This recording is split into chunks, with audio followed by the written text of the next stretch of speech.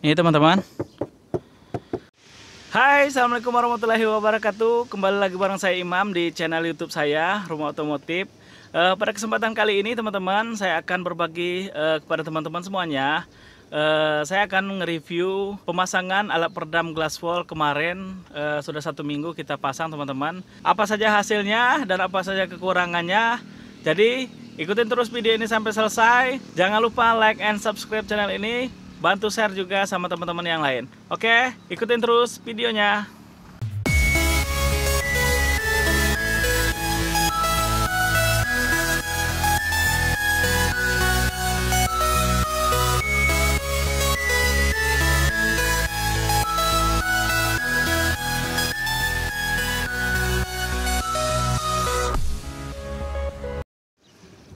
Oke teman-teman, uh, kalau di video kita kemarin saya belum sempat uh, nge-review bagaimana uh, hasil setelah dipasang. Jadi seperti ini teman-teman. Ini uh, pintu yang sudah dipasang. Uh, menurut saya lumayan redup teman-teman. Uh, waktu kemarin saya pakai mobil Brio, ini kayaknya sudah hampir mirip teman-teman sama mobil Honda. Bahkan menurut saya juga sudah lumayan lebih baik ini ya. Oke, ini untuk pintu depannya teman-teman. Dan ini untuk pintu belakangnya juga sudah saya pasang. Menurut saya juga sudah lumayan redup teman-teman. Oke.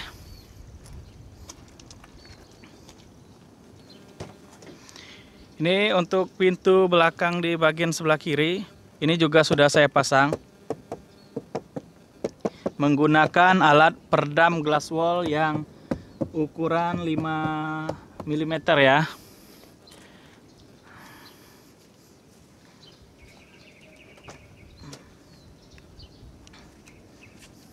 Ini teman-teman. Teman-teman bisa dengar sendiri sudah lumayan redup teman-teman. Uh, keempat pintu juga sudah saya pasang. Uh, di bagian pintu bagasi juga kemarin teman-teman sudah saya pasang. Hasilnya juga sudah lumayan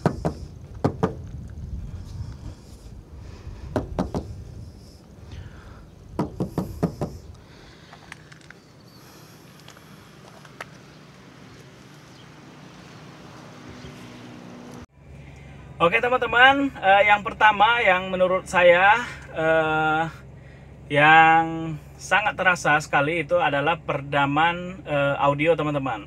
Kalau sebelum uh, alat peredam ini dipasang, memang audio mobil Daihatsu Ayla ini sangat berisik sekali itu uh, karena ada getaran-getaran dari uh, door trim teman-teman.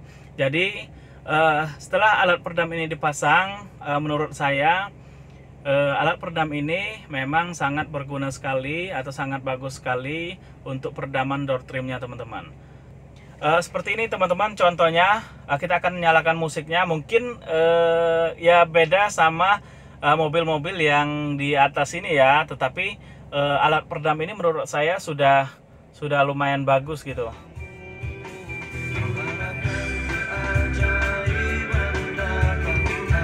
Nah, teman-teman bisa dengarkan sendiri. Teman-teman bisa dengarkan sendiri bagaimana uh, musiknya.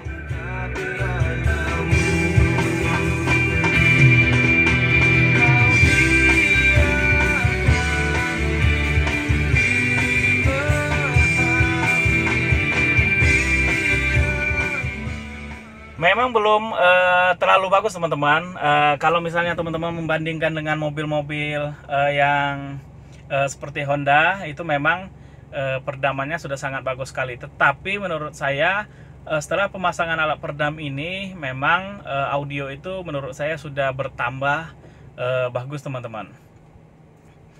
Oke, yang berikutnya teman-teman yang saya rasakan itu adalah uh, pada saat uh, penutupan pintu teman-teman, penguncian pintu yang khususnya ini yang pintu bagian depan. Ini sangat sering sekali digunakan. Itu biasanya sangat terasa sekali getaran-getaran door trim eh, getaran-getaran door trim yang ditimbulkan pada saat kita buka mau tutup pintu lagi teman-teman. Seperti ini teman-teman hasilnya. Kita akan coba. Ini saya akan buka pintunya. Saya akan coba lagi. Teman-teman bisa dengarkan oke. Saya akan coba lagi lebih keras lagi teman-teman. Teman-teman bisa dengarkan. Oke mungkin uh, menurut saya itu sudah uh, lumayan bagus teman-teman. Uh, sudah lumayan berasa perdamannya. Menurut saya sudah lumayan bagus ya. Uh, naik beberapa persen menurut saya sudah lumayan. Beda uh, sebelum pemasangan alat peredam ini. Menurut saya sangat terasa sekali getaran di bagian door trim ini teman-teman. Oke teman-teman, uh, ini yang bagian pintu. Menurut saya ada kekurangan sedikit ya. Menurut saya kekurangannya karena ini sangat ringan, jadi uh, pada saya kita menutup pintu itu memang harus uh, lumayan kencang gitu ya. Karena kalau kita nggak kencang, itu pintunya masih nggak bisa ketutup kalau kita pelan aja seperti itu pintunya nggak nggak bisa ketutup teman-teman jadi mungkin di video saya selanjutnya saya akan pasang juga alat peredam automate di bagian uh, luar teman-teman uh, mungkin uh, di bagian pintu ini cuman cukup satu saja saya pasang automate lebih kurang satu ya itu untuk di bagian luar yang yang nempel di bagian luar nanti yang di bagian dalamnya itu saya akan pasang lagi teman alat peredam glass wall ini teman-teman Oke teman-teman, uh, mungkin itu saja video kita pada kesempatan kali ini. Uh, lebih dan kurang saya mohon maaf. Uh, kalau teman-teman suka video ini, uh, silakan like, uh, bantu share juga sama teman-teman yang lain. Semoga video ini bermanfaat buat kita semua. Oke, jangan lupa subscribe, jangan lupa nyalakan loncengnya juga biar teman-teman tidak ketinggalan video kita selanjutnya. Sampai jumpa.